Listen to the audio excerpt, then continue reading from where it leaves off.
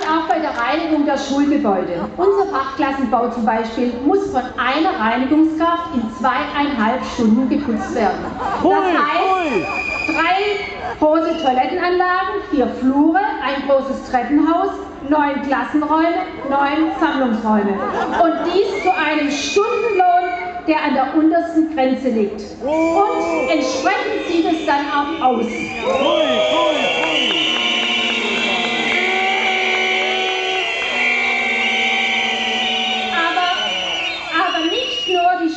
Schulgebäude sind in einem unwürdigen Zustand, auch eine angemessene Unterrichtssituation ist im Kinderland Baden-Württemberg eine Illusion.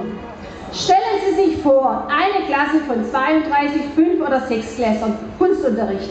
Dort wird die individuelle Betreuung und Beratung verlangt. Wenn ich für jedes Kind nur eine Minute Zeit habe, dann komme ich zum letzten Schüler fast am Ende der Stunde.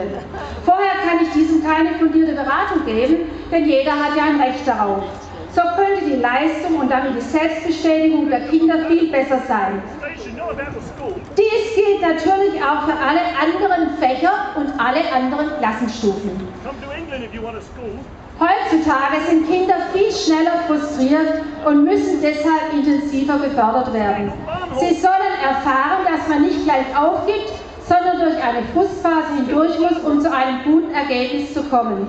Dies erfordert pädagogische Zuwendung und Zeit und dieses mit großen Klassen nicht zu leisten.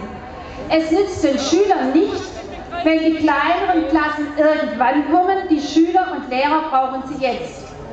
Euros für Bildung. Und nicht vertunnelt.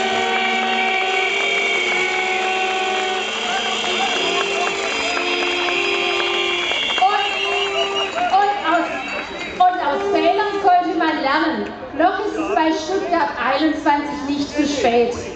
Ich habe auch mal So, danke.